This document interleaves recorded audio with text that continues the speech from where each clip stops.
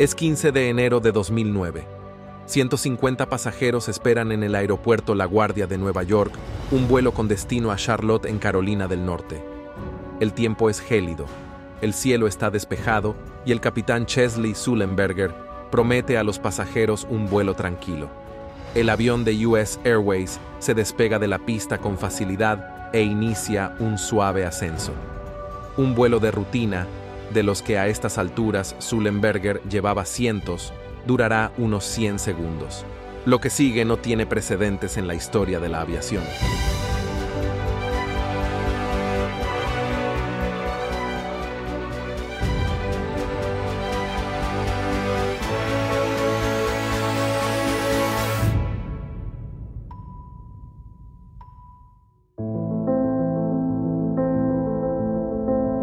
Los expertos coinciden en que si ese día hubiera estado sentado en la cabina cualquier otra persona que no fuera Sullenberger, el 15 de enero se habría calificado como un día negro para la aviación.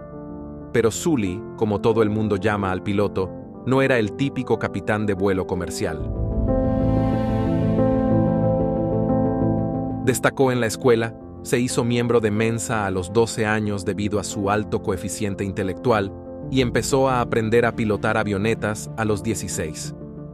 A los 18 años, se matriculó en la Academia Aérea Militar de Estados Unidos y obtuvo allí su licenciatura, junto con el premio al mejor aviador de su promoción. Tras completar su formación, obtuvo un máster y se convirtió en piloto de caza de las Fuerzas Aéreas estadounidenses. Sully adquirió experiencia en Europa, el Pacífico y América pero no solo es un gran aviador, también es un teórico entusiasta. En su tiempo libre, se instruye en seguridad aérea, recupera transcripciones de conversaciones en cabina de aviones estrellados y también es miembro de una comisión que investiga accidentes de aviación militar. Cuando empieza a trabajar para Pacific Southwest Airlines, ya es un piloto muy experimentado aunque en los años siguientes transporta a casi un millón de pasajeros y pasa 20.000 horas en el aire, hace historia con el vuelo que dura solo 6 minutos.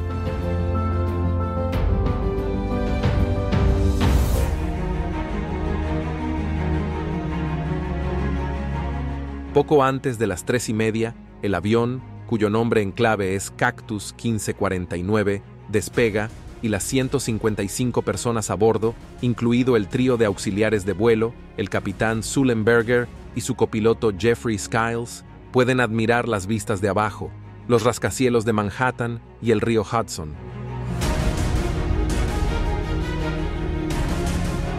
Pero pronto todos sienten una fuerte sacudida. Ni los pasajeros ni los auxiliares de vuelo saben lo que está pasando.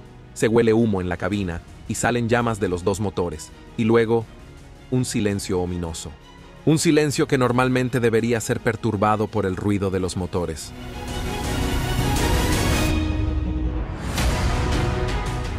Ambos pilotos conocen la causa de la avería antes de que se produzca el accidente.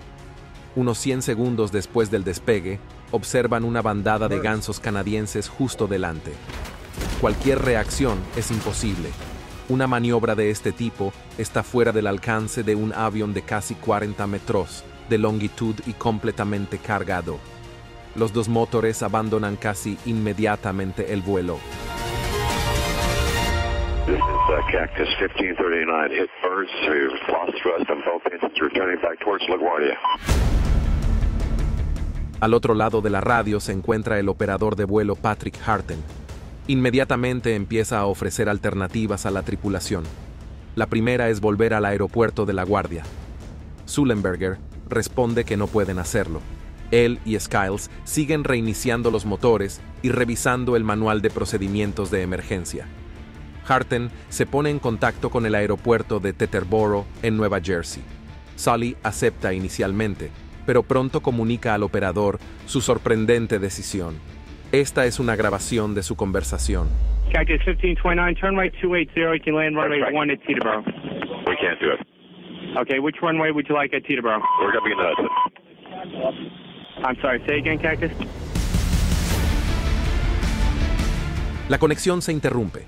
El incrédulo operador Harten sigue buscando una salida y ofrece el aeropuerto Newark en Nueva Jersey, pero Sullenberger y su primer oficial ya no responden. Sully dice solo una frase a las aterrorizadas personas a bordo durante todo el vuelo. This is the captain. Brace for impact. Las auxiliares de vuelo Donna, Doreen y Sheila gritan instrucciones de seguridad. Heads down, stay down. Brace, brace, brace. Heads down, stay down. Las mensajes de advertencia resuenan en la cabina.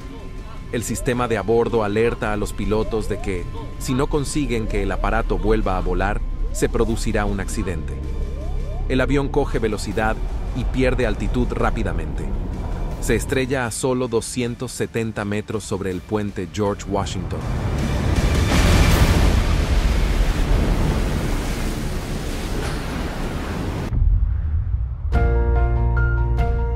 Realmente es casi como un milagro. El aterrizaje de emergencia es un éxito y el avión permanece a flote. Pero inmediatamente empieza a hacer agua.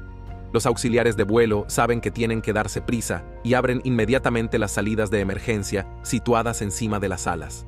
Desgraciadamente, uno de los pasajeros de la parte trasera intenta hacer lo mismo, pero el portón trasero abierto no hace más que acelerar la tromba de agua. Algunos pasajeros intentan nadar hasta la orilla por miedo a la explosión, pero el río es ancho y el agua está a solo 5 grados.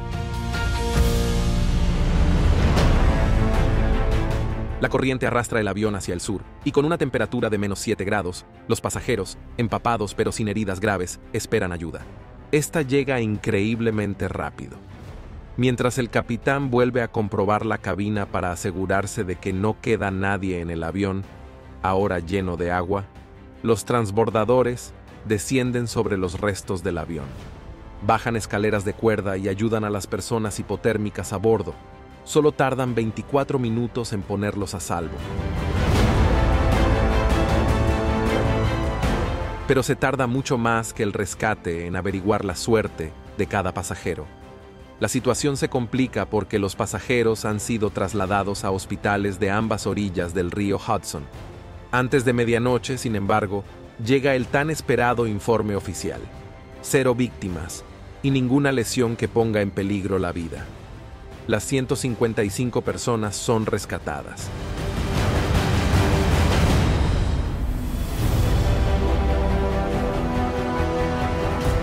Chesley Sullenberger se convierte en un héroe.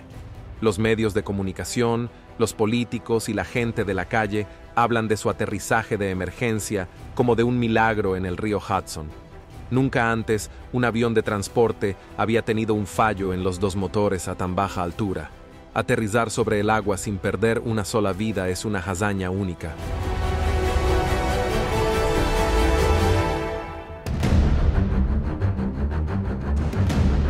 La Junta Nacional de Seguridad en el Transporte, que investigará el incidente, adopta una postura más dubitativa. Las simulaciones por ordenador sugieren que los pilotos tuvieron tiempo suficiente para regresar sanos y salvos, tanto a La Guardia como a Teterboro. Pero más tarde quedará claro que los programadores habían supuesto en sus modelos una respuesta inmediata de la tripulación, lo que no es posible en una situación tan marginal. Cuando incluyeron en el modelo el tiempo que tardaron el capitán, el copiloto y la torre de control en decidir las alternativas, la conclusión era clara. Si Sully intentaba regresar, el aparato se estrellaría contra uno de los rascacielos de la densamente poblada Manhattan. Sullenberger recibió el agradecimiento por su maniobra del alcalde de Nueva York, Michael Bloomberg, y de los presidentes George Bush y Barack Obama. Más tarde escribió en su libro, fue como si toda mi vida hubiera estado enviando pequeños depósitos regulares a un banco imaginario de experiencias. Y después de 42 años, en enero de 2009, lo saqué todo de golpe.